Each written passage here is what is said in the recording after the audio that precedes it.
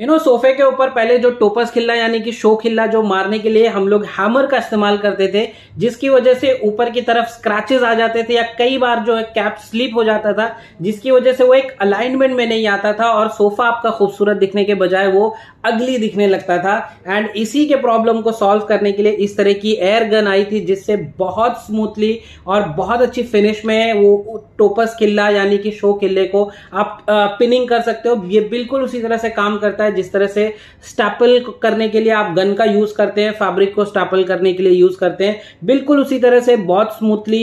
इससे काम कर सकते हैं वीडियो के अंदर भी देख पा रहे होगे बहुत स्मूथली और बहुत अच्छी फिनिश के साथ कर सकते हैं एंड सबसे अच्छी बात यह है कि कई बार आप कार्विंग सोफे पर जब आप मारने की कोशिश करते हो और जब आप हैमर यूज करते हो तो कई बार आपका हैमर स्लिप होने की वजह से वो लकड़ी पर लगता है कई बार पॉलिश खराब करता है कई बार लकड़ी दबने की वजह से डिजाइन खराब हो जाती है बट जब आप इससे मारते हो